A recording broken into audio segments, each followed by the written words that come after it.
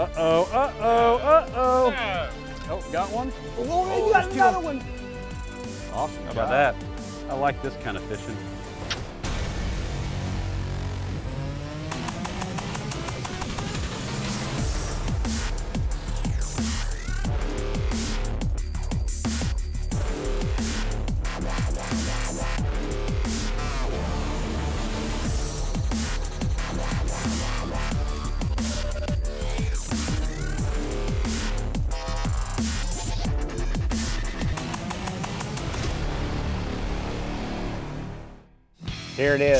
We're at the first father-son challenge. And, uh, you know, as much as I'd like to, I can't take them both on at the same time. We're in southeast Texas at a community lake. We, we're not going to divulge too much. It's their little secret fishing hole. It's kind of a neat deal, though, because Dakota, you know, LSU fishing team student, I'm going to fish with him first. And Dakota's never fished uh, this little lake we're at here. He's just heard about it, how amazing it is from his dad. The next episode, we're going to go with his dad, Kylie. This is a lake that he says is really special. We're hoping that uh, this thing turns out to be quite the uh, fish catching fest. Hey, there he is. What's going on? Dakota, Yes, sir. nice to finally meet you. Yes, sir. Uh, Nice to I'm, I'm glad uh, you, you challenged me to this deal. This uh, looks like a lot of fun. It looks awesome. It I know, really I know you said your dad's talked this place up, and I know you said you wanted to fish it, so uh, let's see if we can go put our heads together and, and see what, what happens out here. I'm What do excited. you think? All Oh, right, yeah. come on in. Hey, my name's Dakota Sparks. I'm a full-time student at LSU. I live in Baton Rouge, Louisiana. I fish the collegiate series for LSU. I'm actually the president of the fishing team. Pretty excited to be on Pro versus Joe today. My dad and I actually challenged Brent uh, together to kind of do a father-son duo. We came down to a lake. It's supposed to be an incredible fishery. I've never actually fished it. My dad has and has done really well. Hopefully we can beat Brent in his own game not once but twice. Dakota, what an amazing looking fishery here. This looks like this should be a lot of fun. But uh, before we before we get fishing here, I got to go over a couple of the rules of uh, pro versus Joe, Okay. or, or what we're what we're fishing for. You know, we're fishing for the first fish, the most fish, and the biggest fish. And I guess I got to also say that you know it's at any time I can change the rules like I, however I want them to fit me too. So. Okay. okay. but uh, no, it it'll be fun. We're like I said, main thing is let's go out and have some fun and, and see what happens. Let's go find a few fish.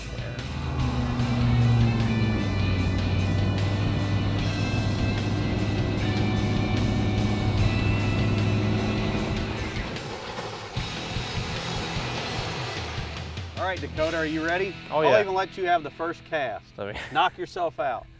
I'll probably set the hook with this. And,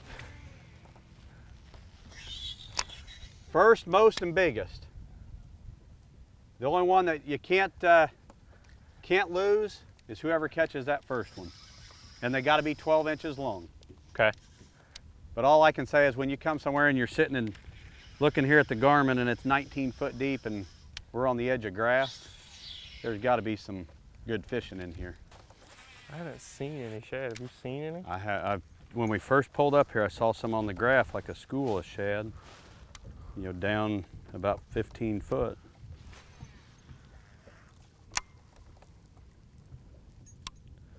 See that this is the neat thing about this though, you're liable to. I mean, we could catch a 25 pound bag out of One, one, little little patch. clump here if we find the right little clump. That's what. See, this is how Rayburn used to be. oh, that's a good one. That's a good one. Uh-oh. Stay on. Stay on. It's a nice one. Stay on. Don't you get in that grass. Don't you The get good in thing about oh. Pro versus Joe is we can use a net. that- Don't you get that grass. That's a real good one. All right. That's what I'm talking about. Good job, man. Yes, sir. I think we're liable to have some fun here. Now you're catching me. Grab that fish. I'll take him. That's yours. Good job. Now he's got the first, most, and Oh, biggest, yeah. so uh, my work's cut out for me. We're gonna save a little waypoint right here. Awesome How job. about that?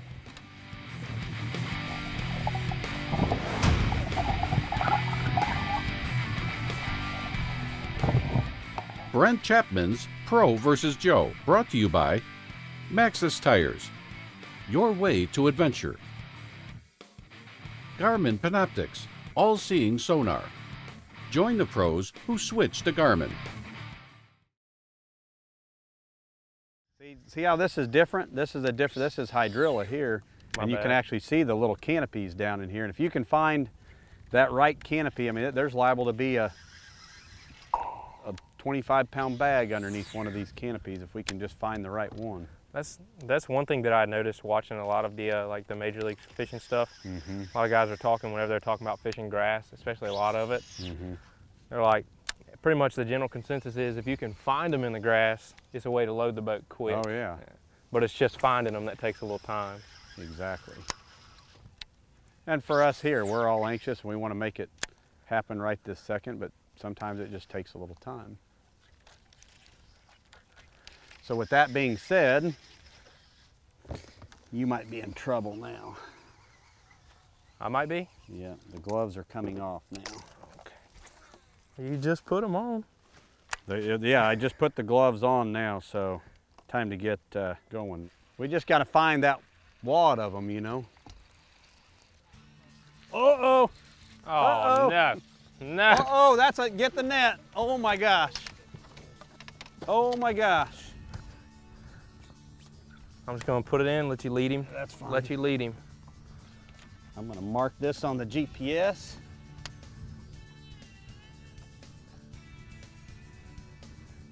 Holy cow. Look at this, look at this, look at this. Oh, yeah!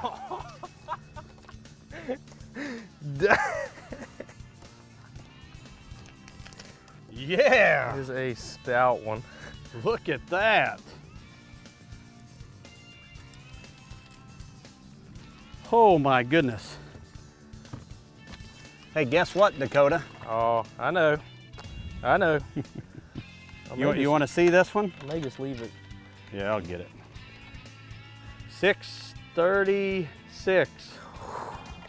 Now that is a way to uh, start the day. Oh man, 636. beautiful. Gosh, that's a good one. I like uh, I like this kind of fishing. Man, that was awesome. See a fish? How deep does that one dive? About six foot? Yeah. That one It, right it, it's not a bad thing to try because I'm I'm getting too deep in a lot of places out here, and that's the thing. There's no good. Uh oh. Uh oh. Uh oh. No! Are Uh-oh. you kidding me?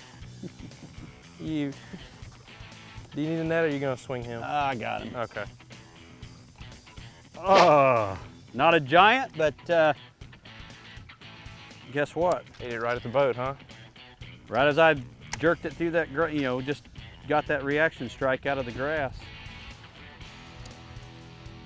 What do you think? It's pretty. Nice two pounder. That was fun.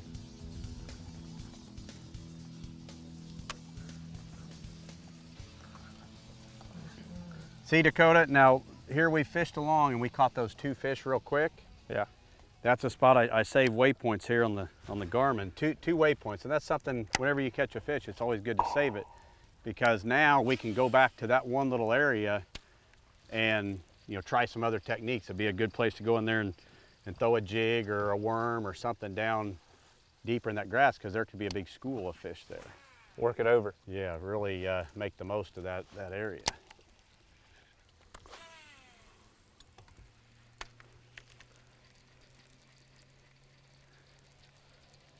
See, he looks like he's just graphing. Fish. Oh, there's There he one. is. All right, a little guy. But guess what? You tied it back up. It back.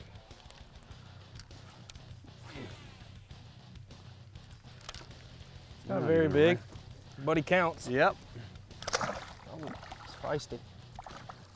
Well, I, I, I'm going to say this little point in front of us has got some fish on it somewhere. So we will work up to it and we will work our way from shallow out to deep. How about that? And we'll let, we'll let the we'll let the fish tell us what they want. If we catch them on a frog, I am perfectly fine. Uh-oh, There he is. on the spinner bait. Guess what? It's not a giant, but uh, Think he'll make it. yep, Not a giant by any means. But I think I'm ahead now, huh? Yeah. At least in most. Thanks, thanks for uh, I think I'm ahead now. reminding me of that. Thank you, sir. Finally jabbed and landed one. I guess I need to. I guess I need to punch back here. Oh, here we go.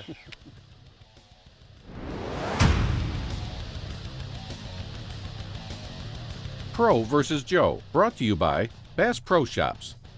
Your adventure starts here. Fulton, Waves of Innovation.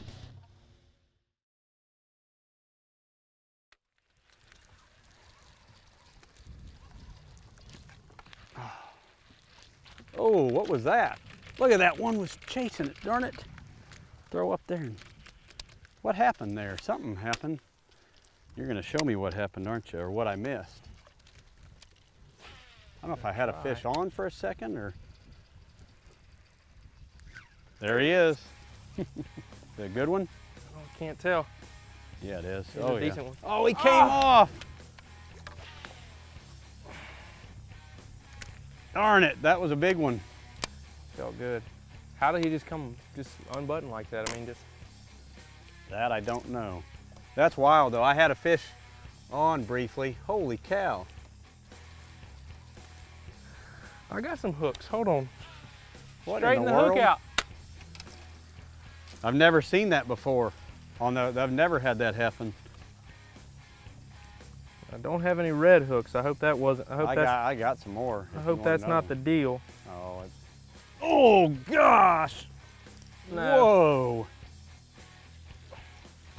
That fish slammed it. I don't think he's big, but oh, it's a nice one. Oh yeah. Where's those pliers? How about that? That was a fun bite right there. It's a pretty one. Good two something. This is fun. The rod's right there. Isn't that amazing? We come back here and we've been here five minutes and we've had two that quick. And we're right around, you know, that's one thing I think is so important. Every time we catch a fish, I save a waypoint. So what you do, when, you know, when you're Hey. out here, oh, got one? There's a good one. Yeah. Not a giant, but a nice one. Do we need the? He's, he's not hooked very Oh, well. whoa, oh, you got another one. Oh, we Oh. had two at once. He's not hooked very well. I wonder if that's what happened to you before. Might have doubled up, huh? Good job. You might. It is. They're here. They're here. No doubt. How about that one? Beauty. It's pretty. Solid. They, and these, these are the, the little guys, you know. And they're fun though. They slam that crankbait, don't they? This is awesome out here.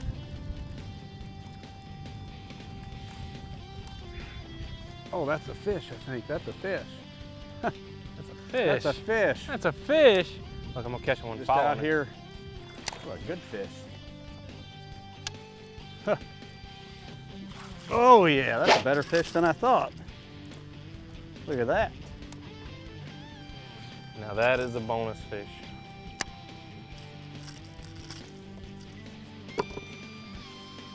Dakota, you see that, right? I see it. Means we're tied up, huh? What you call a fun fishery when you're catching three plus pounders and just a nice average fish there. But see, that's the thing. This lake's got so much vegetation in it. The lake's dropping. It's got these fish out here and just need to keep hunting, I guess. Hey Dakota, check this out. Can you see this? This is, uh, you know, here's this hump where we caught some fish, but right here, we're, we're coming up to it. There, there's a uh, another hump here, so we'll get over here and see what this one has to offer. Looks good. Probably should make a few more casts right around this little spot, especially after looking at the graph. Yep. Oh, ho, ho. Ridiculous. Ridiculous. I don't know. Yeah, that's a keeper. Yeah. That's a Okay. keeper. I'm trying to get one in my hand here. Thinking I'm making an executive decision on my tactics. Not influenced by you catching any at all. Not big, but uh,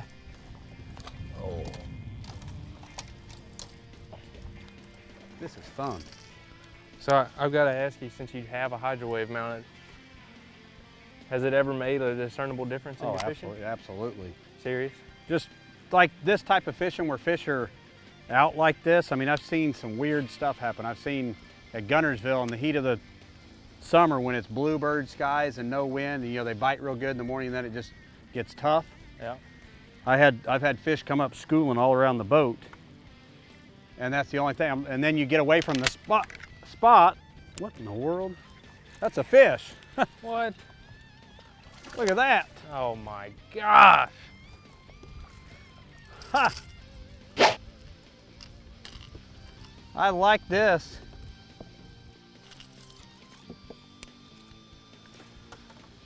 Dakota, you see that, right? I see it. Whoa, I just stepped on your rod. About broke my rod. Brent Chapman's Pro vs. Joe, brought to you by Frabill. Trusted gear since 1938. Plano, protect your passion. Livingston Lures, featuring electronic baitfish sound technology.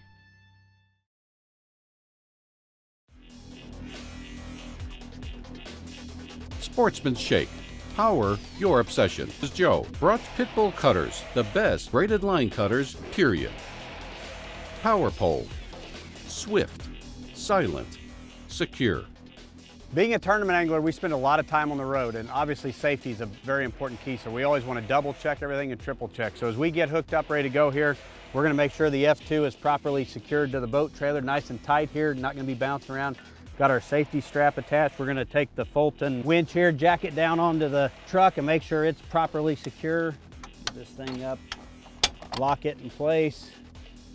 Lock that in place. We're gonna make sure our safety cable is attached properly. That way, if uh, God forbid our trailer ever leaves the truck, this will uh, actually engage the brakes on the trailer and won't go to rolling down the highway. And then obviously our safety chains, get those properly secured here.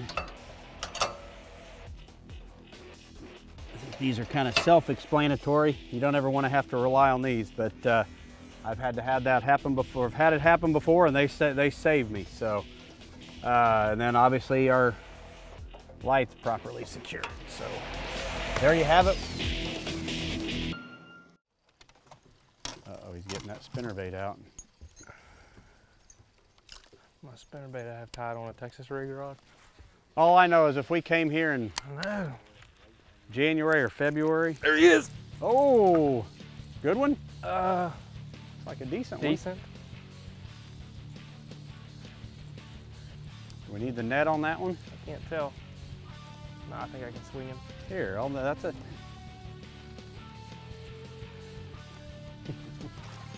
all right. Oh, yeah. Here, you, I'll let you grab him though. He's all yours now. Oh yeah. That's a good You're, one. you're keeping it, uh, oh dang, keeping it spinnerbait. close there. On the spinnerbait again. Kind of makes you wonder what would have happened if you'd just kept throwing If that I've just spinnerbait. thrown it you all know? day. That's what I mean. Oh, it, you that know, one. that spinnerbait, it just, it, you know, it, it catches them. It's a good little chunk. Good job.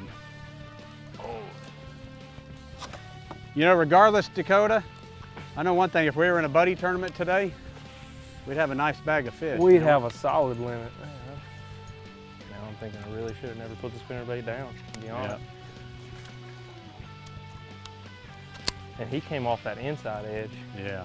They're just, they're up suspended around these clumps like that, and that's what this crankbait's doing too. You know, I mean, it's just, You really, I'm telling you right now, I know for a fact you could tear him off on a hay rig. pro- you're probably You- right. you really could. I probably should dig one out.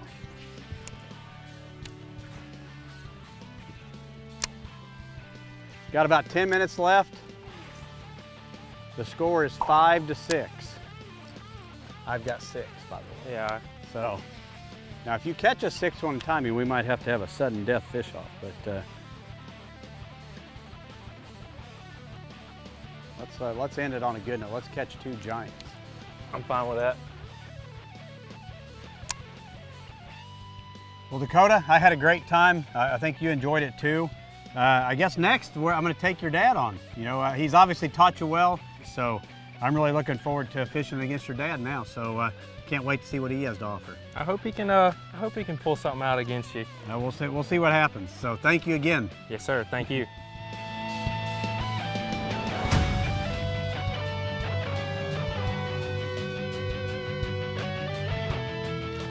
What a great day Dakota and I had out uh, out here on the lake. It was a lot of fun. Uh, you know, I got to catch a big fish, and uh, Dakota, you know, he caught that first fish. So my hats off to him. I did catch the first fish, which having that first one kind of, you know, it, it kind of filled me in. I didn't have to, uh, I didn't have to work for that one as much. Brent, uh, he did catch the biggest fish. Uh, after that, we were kind of neck and neck for a while there. We'd pull up on a spot, he'd catch one, I'd catch one. Dakota and I both said if this was a, a buddy tournament, we would have had a really nice bag of fish. I also had the tie fish come off at the boat, but uh, he barely edged me out. That's one of the great things about Pro versus Joe. Uh, it, it's real. You know, we're, we're not always going to some stocked pond. Uh, we're, we're, just going out there and, and, making the most of what we have in a day's time. You know, at the end of the day, you really can't be upset about getting beat by a guy who's won AOY and fished multiple classics, so I'm happy with it. Really enjoyed fishing with Dakota, and uh, like I said, maybe one of these days him and I will be at the Bassmasters Classic together. My dad will be fishing against him, and my dad has a little bit of history on this lake, so maybe that will be the difference maker uh, between him and Brent's competition. But tune in next week to Pro versus Joe, and uh, like I said, hopefully my dad will pull out the win.